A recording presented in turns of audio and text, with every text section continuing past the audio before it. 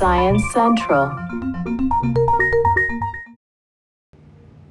There's something fishy about these robots, or more accurately, fish like. In this test pool, these robofish are tracking a toy shark. While someone is controlling the toy, these robofish are making their own decisions. There's no human directly telling them what to do. They have a program on board and they're getting various sensor information either from their onboard sensors or stuff that's uh, transmitted over a wireless channel.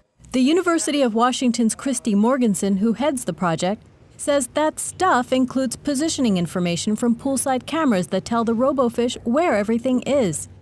She points out that the camera system is only a stepping stone.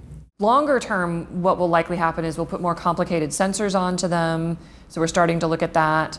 The military has used autonomous underwater vehicles, or AUVs, for tasks like clearing mines from a harbor.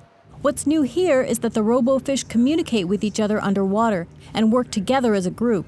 Multiple robofish could gather information on something faster and more accurately than a single AUV.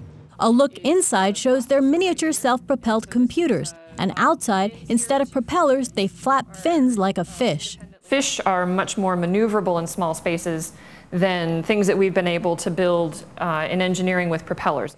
Even though it'll be a while before we see robofish like these in the wild, it's apparent this research is going along swimmingly.